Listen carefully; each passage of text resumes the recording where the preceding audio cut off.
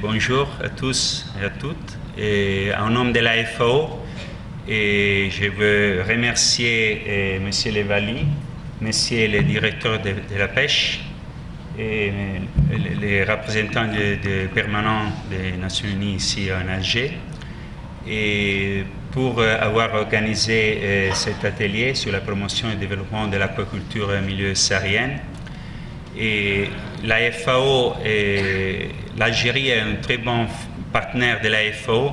Nous avons commencé avec l'Algérie en 2008 à travailler sur les sujets et que c'est un sujet qui, à partir de, des années 2008-2010, est devenu de plus en plus important pour, euh, pour les secteurs aquacoles. La tendance euh, du secteur actuellement au niveau mondial, c'est toujours vers euh, l'aquaculture euh, maritime offshore, c'est-à-dire loin de la côte.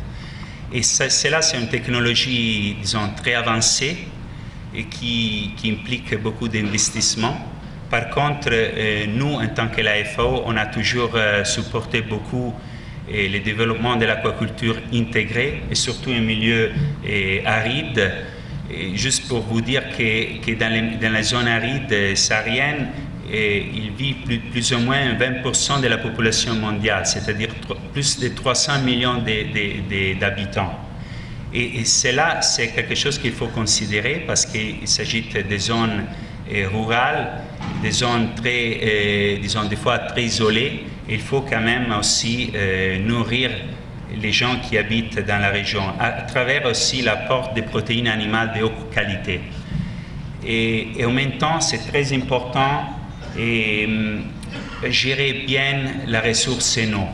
Et alors, c'est pour cela que dans les zones euh, sahariennes, on, a toujours la tendance, nous, en tant que FAO, on appuie le développement d'une aquaculture intégrée à l'agriculture. C'était la première chose, c'est l'agriculture. Mais à côté de l'agriculture, on peut prévoir la, la, cultivation des poissons, qui sont un produit au niveau nutritionnel, c'est très important, surtout pour les femmes, les enfants. Alors c'est là qu'il faut travailler. Toujours en tenant compte de la, ressource en eau qui est très limitée. D'habitude, on parle d'eau souterraine, c'est de l'eau fossile qu'il qui faut beaucoup d'années pour la renouveler. Bon, la FAO est toujours à côté de nos partenaires euh, algériens. Je veux vraiment vous remercier pour euh, m'avoir avoir invité la FAO et j'espère que l'atelier la, la, euh, sortira de très bons résultats. Merci, Choukran.